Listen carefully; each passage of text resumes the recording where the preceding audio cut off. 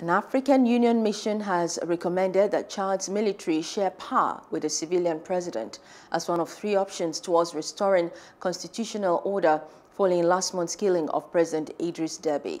A military council led by Deby's son, Mahamat Idriss Deby, seized power in April after his father was killed while visiting troops opposing a rebel insurgency. The African Union, which could suspend Chad over the military takeover sent a fact-finding mission to develop strategies for a return to constitutional order and democratic governance.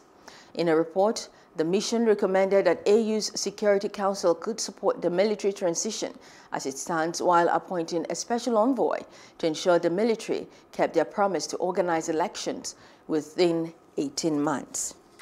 and don't forget to hit the notification button so you get notified about fresh news updates.